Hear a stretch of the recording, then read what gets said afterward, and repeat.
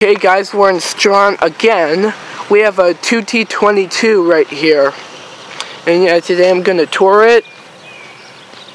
And yeah, they have the control panels.